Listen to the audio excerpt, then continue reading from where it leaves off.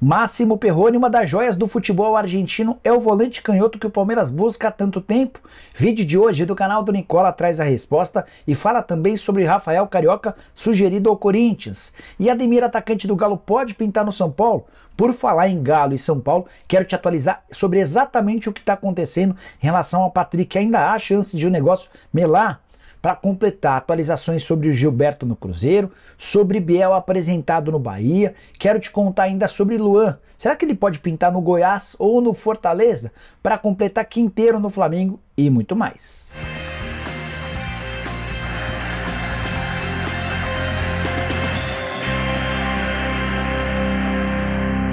Fala aí pessoal, me chamo Jorge Nicola, bem-vindos a mais um vídeo do canal e rapidinho só agradecimentos importantes. Vídeos com altíssimas audiências e durante o programa do Nicola dessa terça-feira a gente bateu mais uma vez um recorde, mais de 8.500 pessoas de forma simultânea. Muito obrigado a todos vocês. Você que ainda não é inscrito, aperta esse botão vermelho e ativa as notificações para ser avisado toda vez que a gente estiver ao vivo ou que tiver vídeo novo, beleza? Bom, bora começar esse vídeo dando um recado importante. Tem notícia boa para você nessa quarta-feira. O Manchester City entra em campo e a Parimet, casa de apostas esportivas, preparou cotações bem legais. Bora te ajudar a entender como você pode apostar para se dar bem na Parimatch. Vou clicar no canto superior esquerdo na parte de cima em Inglaterra, Liga Premiada, para ter acesso à Premier League. Você vai perceber que vão aparecer todos os próximos jogos do campeonato inglês. Quero apostar nesse jogo de hoje entre Leeds e Manchester City, então vou clicar em cima dos dois. Pronto, já estou na página dessa partida para apostar. A vitória do Leeds paga R$ 9,60 para cada real apostado. Isso significa que se eu apostar R$ reais, faturo R$ 96,00 em caso de vitória do Leeds. Já o empate paga R$ 6,50 e a vitória do City garante R$ 1,29. O City é muito favorito, por isso essa cotação mais baixa. Vou procurar uma odd um pouco melhor e vou clicar em metades para ter acesso a resultados de apostas no primeiro tempo. Olha como a coisa já melhorou. Cotação a 1,67 para a vitória do Manchester City nos 45 minutos iniciais. Ao clicar nessa odd, já abre o boletim de aposta. Aí é só escolher o valor que você quer apostar. Eu, por exemplo, vou colocar 40 reais com chance de voltarem R$ 66,80. Ficou fácil apostar, né? Mas as vantagens na Parimet não param por aí. Você pode apostar pelo site ou pelo aplicativo da casa de apostas pelo seu telefone celular. O depósito mínimo também é bem baixo e dá para fazer apostas a partir de um real. Isso sem falar na retirada rápida e no atendimento ao cliente extraordinário. 7 dias por semana, 24 horas por dia. Então pegue agora mesmo o link que está no comentário fixo ou aponte o seu telefone celular para esse QR Code que está aparecendo na tela. Depois é só cadastrar suas informações, colocar o número do seu telefone, uma senha e não esqueça de usar o código bônus que é Nicola. Assim você vai dobrar o valor do seu depósito. Depois é só escolher o meio que você vai usar para fazer o depósito. Eu, por exemplo, fiz a transferência via Pix, super rápido e prático. Repetindo, faça seu cadastro agora mesmo pelo link que está no comentário fixo ou via QR Code e vem se divertir comigo na Parimatch. Agora sim, bora começar o vídeo com o tradicional giro de notícias e a primeira informação é que Gabigol foi eleito pelos próprios jogadores como o atleta mais chato do futebol brasileiro na Série A. 28% dos atletas que participaram dessa votação no UOL elegeram o Gabigol como o mala. Na segunda colocação, com 24% dos votos, o Felipe Melo. E o pódio foi completado por Daverson, que apareceu com 12%. Por outro lado, o Scarpa foi considerado pelos atletas como o mais simpático Scarpa que se mudou para o Nottingham Forest. Bora falar agora sobre Douglas Costa, que tem marcada para quinta-feira uma reunião com o novo presidente do Grêmio, o Alberto Guerra.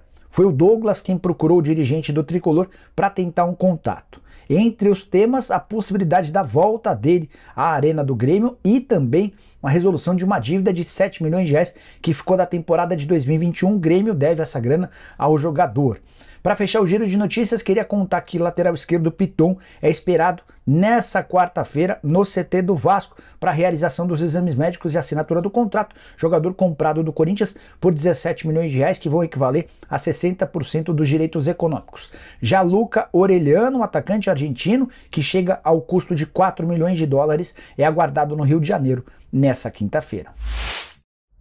Bora responder uma das perguntas que mais têm sido feitas durante os programas do Nicola, que vão ao ar de segunda a sexta-feira a partir das 7 da noite. Gilberto, centroavante de 33 anos de idade, pode virar reforço do Cruzeiro para a temporada de 23? Quero trazer todos os detalhes a partir de agora. Primeiro contar que o Gilberto foi oferecido para vários clubes brasileiros, entre eles o Cruzeiro. Mas, apesar de ter sido sugerido, as cifras são extremamente complexas para a Raposa, pelo menos nesse momento. Primeiro, pelo fato de que o Gilberto tem contrato com a Wasli dos Emirados Árabes Unidos até a metade do ano, ou seja, para contratá-lo agora, o Cruzeiro precisaria arcar com os vencimentos do jogador e ainda se acertar com o clube dos Emirados.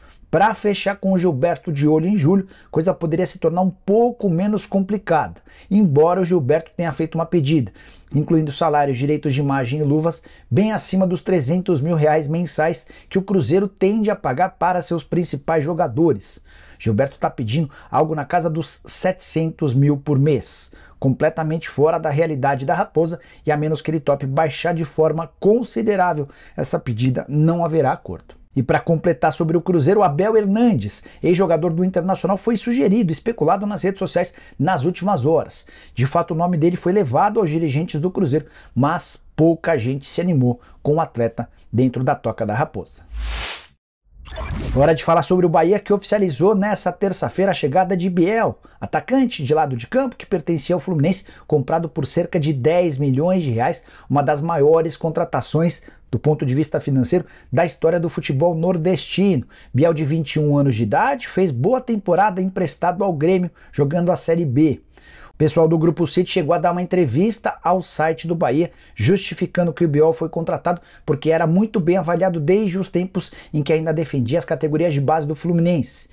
Quem já foi oficializado pelo Bahia até agora como reforço? Os zagueiros Marcos Vitor, que vem do Ceará, Canu, que vem do Botafogo, além do volante Nicolas Acevedo, que pertence ao Grupo City e estava no New York City. Outros atletas serão anunciados nos próximos dias. O Bahia tem pelo menos oito jogadores fechados para 2023.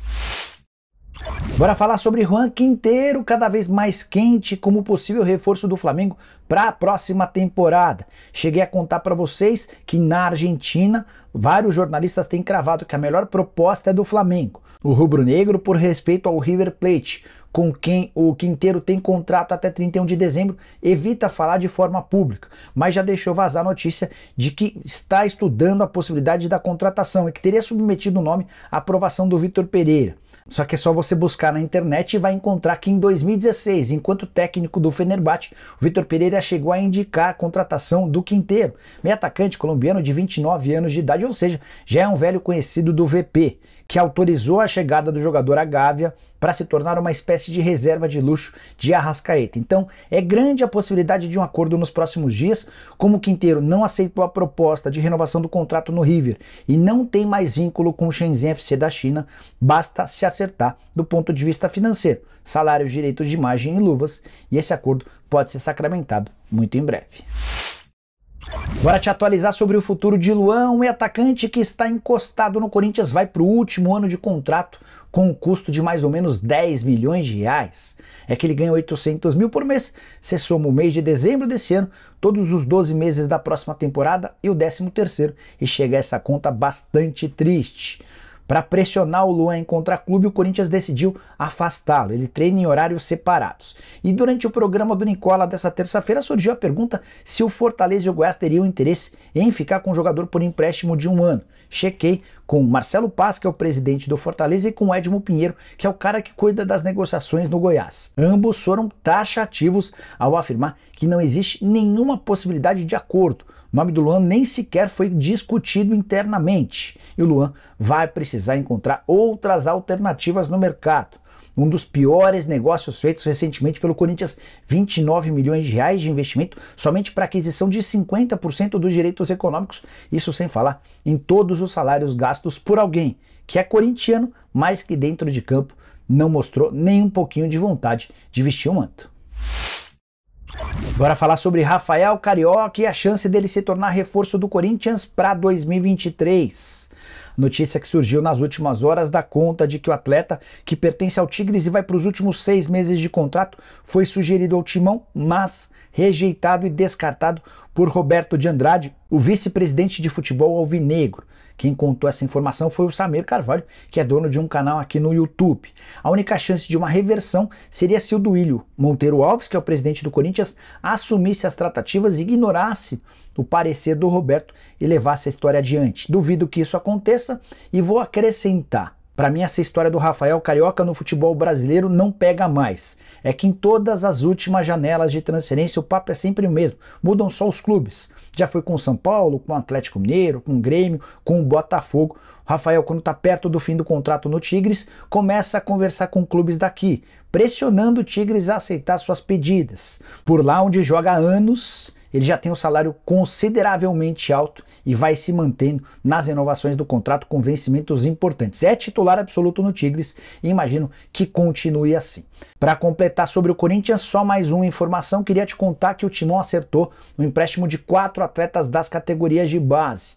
O Kevin, lateral esquerdo de 21 anos de idade, vai jogar no Novo Hamburgo. O Natan Palafoss, que é atacante de 23 anos, será reforço do Nova Iguaçu. O Gabriel Araújo, zagueiro de 22 anos, vai defender o Bangu, enquanto o Alan Ferreira, zagueiro de 21 anos, será reforço do Oeste, todos por empréstimo. E o nome do Ademir, atacante de lado de campo do Atlético, voltou a ser especulado no São Paulo nas últimas horas. Vários torcedores do tricolor imaginando que ele pode ser o ponta direita que o Rogério Ceni ainda entende que falta no elenco. Na teoria, essa posição está guardada para o David, jogador do Internacional, mas São Paulo e Inter não se acertam em relação a valores e o negócio ainda não foi fechado. Diante desse cenário, São Paulo segue no mercado buscando alternativas para um ponta direito e o Ademir poderia resolver essa posição, mas já havia contado para vocês alguns dias atrás, negociação não avançou. São Paulo chegou a pedir o Ademir na troca pelo Patrick, mas o Galo considerou a oferta ruim e rejeitou, assegurando que o Ademir vai ter papel importante ao longo da temporada. Vale a lembrança de que o Galo acaba de ceder o Queno para o Fluminense, não está afim de abrir mão de outro ponta de velocidade. Ademir, que foi contratado de graça depois de chegar ao fim do contrato com o América, na primeira temporada com a camisa do Galo disputou 61 jogos com 8 gols e uma assistência. Contrato até dezembro de 2024. O Atlético bastante confortável com essa situação. Para completar sobre o São Paulo, só mais uma novidade: o tricolor está tentando, junto ao Grupo City, estender o contrato de empréstimo de Nahuel Ferrarese, zagueiro venezuelano que está vinculado ao São Paulo somente até a metade do ano. A ideia do São Paulo é assegurar a permanência do Ferrarese pelo menos até 31 de dezembro de 2023. Hora de falar sobre toda a verdade da novela envolvendo o Patrick. Vai ou não trocar o São Paulo pelo Atlético Mineiro? Contei para vocês na live de segunda-feira que a negociação havia esquentado. O GE trouxe no final da tarde dessa terça que o negócio havia esfriado. Vou dar todos os detalhes dessa história. Primeiro, contar que o São Paulo havia feito uma primeira pedida a todas as partes envolvidas. O Internacional, o Atlético e o Monte Azul cederam a pedida do São Paulo. Na hora H de fechar o acordo, o São Paulo voltou atrás e fez uma segunda pedida. Todas as partes envolvidas, incluindo o Patrick e seu empresário, concordaram e voltaram com a pedida do São Paulo. São Paulo, pela segunda vez, voltou atrás e pediu mais. Nesse momento, o impasse se dá porque o tricolor quer morder uma fatia do 1 milhão de reais a que tem direito o Marcelo Robalinho, o empresário representante do Patrick. São Paulo está dizendo que se o empresário não abrir mão do negócio, não vai haver acordo e o Patrick fica. Inclusive, São Paulo já deu essa informação ao Atlético. Entre os clubes está tudo certo. Se o Robalinho aceitasse abrir mão de parte desse 1 milhão, negócio sairia. Só que com o aval do Patrick, o Robarinho já deixou bem claro que não vai abrir mão do valor a que tem direito. E aí se impasse. Detalhe importante, informação exclusiva de bastidor. Nas últimas horas, Patrick e Rogério Ceni conversaram por telefone e a conclusão de ambos é de que o melhor pro Patrick é seguir um outro caminho que não no São Paulo. Aquela treta no vestiário do Maracanã em meio à derrota para o Fluminense não foi bem digerida pelas partes. E o Patrick, de acordo com essa conversa com o Rogério Ceni, precisa buscar novos ares. Resta saber se esse impasse em relação à grana vai continuar pesando.